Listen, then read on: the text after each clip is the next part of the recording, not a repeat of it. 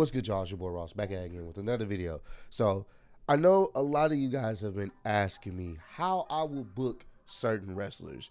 You guys like my opinions on, you know, me reacting to like when Adam books a certain situation or when you see me check out other people book certain matches or situations like what could have been.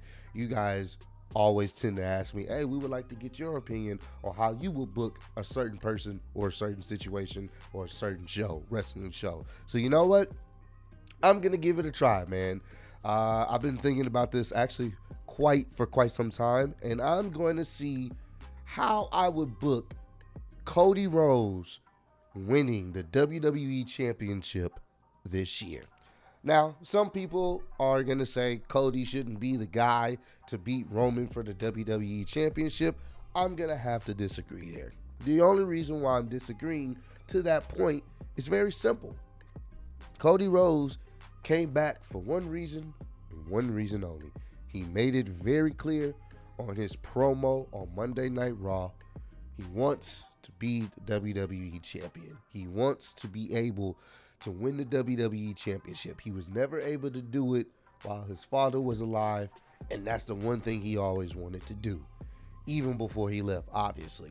And he had to leave to become even bigger for this to even happen. A lot what that was said in that promo has a lot of truth, and it makes sense. He's arguably the most over guy, especially on Monday Night Raw, and probably in the company. He's legit one of the hottest things right now in the company.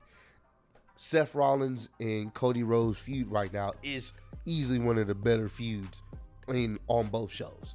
So it only makes sense that to get the title, the WWE title off of Roman Reigns and back on Monday Night Raw, he would be the best person to do it. There's other people that can do it, but for specifically for this booking reason, I'm going with Cody Rhodes. So, how will we set this up? Well, Money in the Bank is uh, not far off, actually. It's right around the corner, and this is where it starts. So we have Hell in a Cell. Cody is going to face Seth Rollins. I'm keeping that the same. And I have Cody Rhodes winning. The reason why I have him winning, because you want to give him all the momentum, as much momentum as possible heading into uh, Money in the Bank. He doesn't need to be taking any losses. He doesn't. He needs to be as strong as possible to defeat the ultimate person in Roman Reigns. Because right now, Roman Reigns is technically in God mode. So you got to build up your character. Like in any RPG, you can't have him losing. He has to be strong. And I think him beating Seth Rollins, getting rid of that feud, moving on to uh, focus on other things is is the way to go. So I would have uh, Cody Rhodes beat Seth Rollins at Hell in a Cell. Now we're starting to prepare for Money in the Bank. What they could possibly do is maybe put on some qualifying matches. Whoever wins those qualifying matches, they would end up in the Money in the Bank men's ladder match. Obviously, have Cody win a qualifying match to get into um, into that match or whatnot.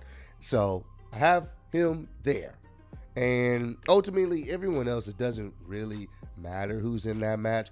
Hell, I would actually even put Edge in that match. I would put Edge in that match because you could set up a feud with Cody Rhodes and Edge much later down the road. So I would put Edge in that match for sure. So we know Cody wins his respective match, gets put into it, and you know he's talking to you know he basically building up the promo, building up the promos like this is this is opportunity.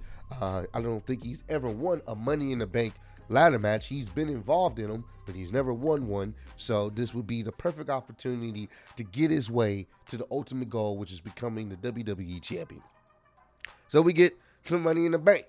Money in the Bank happens, and I know the rumor was that I'm going to say Matt Riddle and Randy Orton were respectively going to have matches one was going to have a match at Money in the Bank to face Roman. One was going to have a match at SummerSlam. Most likely it was going to be Randy Orton to face uh, Roman Reigns at SummerSlam for the titles. But I think I would scrap that. The reason why I would scrap that because obviously I'm going to have uh, Cody Rhodes win the Money in the Bank. So I would probably do something of the lines of having them both face Roman, Matt Riddle, and Randy Orton. I'll have them both face Roman in a triple threat match at Money in the Bank, only because we're trying to set up for what what's going to happen at SummerSlam. It's kind of hard to push that, um, make that match happen, and the way Cody character is, he's more of a guy that would actually announce when he's going to cash it in. So I would have Matt Riddle, Randy Orton face off against Roman Reigns at Money in the Bank pay per view, and I would obviously have Roman Reigns win. I would have Cody Rhodes win the Money in the Bank, and at the end of the show, with Roman Reigns putting up both the titles because he's won, I would have Cody music hit. I would have Cody music hit, and just have Cody tease it. Like he's not about to run out there and cash it in, but he just holds up the briefcase, letting Roman know who he's coming for next. Next night on Monday Night Raw, we waste no games. Cody comes out there, lets it be known. I'm cashing in my money in the bank briefcase at SummerSlam this year. That's why I said you move those matches, turn into a triple threat match, because you know Roman's gonna beat both of them. So kill two birds with one stone. I know it kind of sucks, but we we're trying to get to the WWE Championship as quick as we possibly can. Obviously, Roman's schedule is still kind of unsure at this moment, so it doesn't look like he's going to be around as much, even on a week to week basis. So we're kind of speeding this along. So he announces that, right? Roman comes out. He's talking a big game, like, hey, that's, that's what you want to do? Fine, that's on you. Just know that you asked for this or whatnot. I'm gonna I'm gonna smash you just like I smashed everybody else. Pause. So, um, at that point, we're building up the show. We're building up for weeks. They're going back and forth. Cody is definitely letting know, letting it be known that he's not afraid of Roman. He's not afraid of what he's built, and his his time has come. This is why he came back. And you can have Roman really go in and play up to the history because they have history. Roman plays up, well, we've been down this road before with the shield. Me and your family. We've been down this road before. We caused you guys a lot of pain and a lot of trouble. He can bring up the fact it's crazy how they were your brothers too. And then that fell apart. And now you have your family doing your dirty work. It seems as if Roman can only really truly be himself when he has the help of others around him. Like really get personal there. Really start getting into the psyche of Roman can't get the job done without help. He's the only reason why he's the head of the table because of the people around him. It's not because of him. It's because of the help he has. He's always had help. He's always had someone in his corner. Whether it's it was sure they won't mention it. Whether it was members in the Shield, like mention like Dean Ambrose's name, whether it's members in the Shield or whether it's management behind your back, and we can get personal because you know Cody is very good at talking on the microphone. Roman has found his way on the microphone as well, and we're building that tension to the point where they start po- potentially setting up matches with Cody going one on one with Jimmy. Then maybe next week Cody going one on one with Jey. And Roman's getting frustrated because they can't beat him. So that's when Roman does what Roman does, goes extra rogue, and they start attacking him. Maybe one show they start brutally attacking. I'm talking about beating the living crap out of him. And you can set up maybe two weeks before the show. You set up uh, a segment Cody returns or whatnot, and he takes out the Usos. I would have him do something like that. He goes around taking out one of the Usos to the point where he like, I guess you could say they can't even really help out Roman. He takes out one of the Usos. He takes out another one of the Usos, and now it's just Roman left. And he's making it very clear. I'm doing this because I have no other choice. Because at this point, I already know how things are gonna go, which I wish fake baby faces would do. I know you're gonna try to cheat.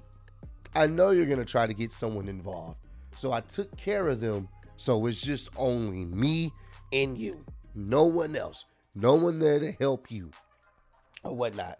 And I think that would be a nice change of pace because Roman matches have kind of started to end the same where someone out of the Usos get involved. So I think if he if Cody takes them out the picture and they they build up towards that, just him taking the Usos out the picture and it's just me and you, then they go from there. And from there, you could possibly have maybe a little confrontation or a little brawl because Roman is upset. He's been injuring his family members. So you can have something like that on the go home show for SummerSlam. Match is hyped up. Cody versus Roman Reigns for the WWE Championship. It's not for the Universal Championship, strictly for the WWE Championship. And at that point, honestly, they have a great match. They tell a great story. And it gets to the point where Roman's getting frustrated because he can't put him away. He can't put him away. Now, of course, the Usos may try to hobble themselves down to the ring because, once again, they're hurt per storyline. And what you could do possibly there, which I think would probably be a nice little callback, is maybe have Randy Orton and uh, Matt Riddle come out there and attack them.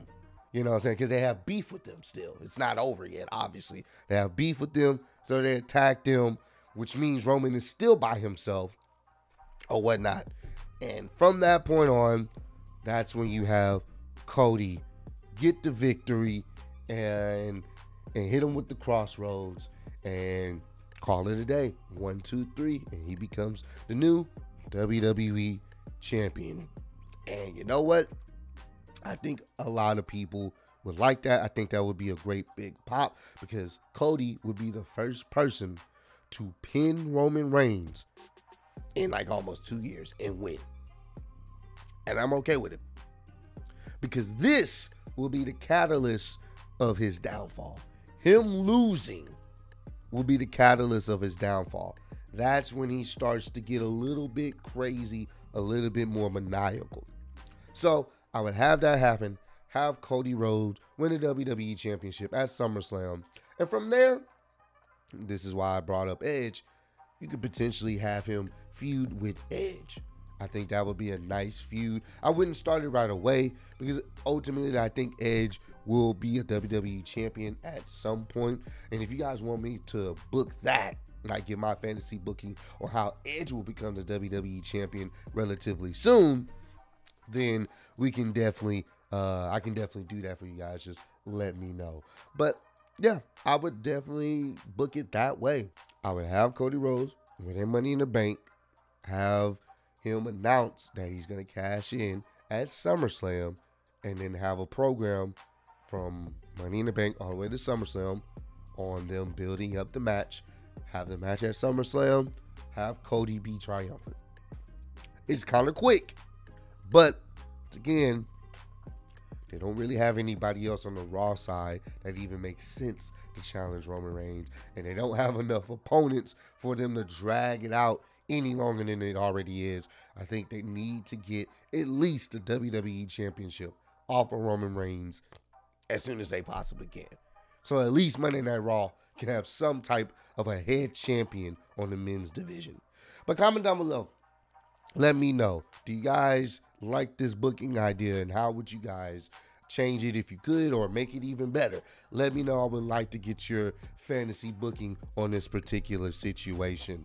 Um, and also let me know if you want me to do more booking stories like this uh, or, you know, booking videos like this. I definitely will if you guys are interested in it. But I appreciate all the love and support on the channel. Road to 90K. Appreciate y'all kicking with me. See y'all on the next one. Peace.